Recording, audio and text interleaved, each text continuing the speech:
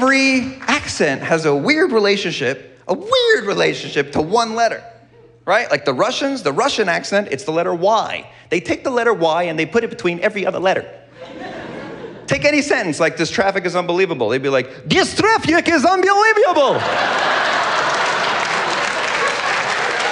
I cannot believe it. We've been sitting here for 15 minutes.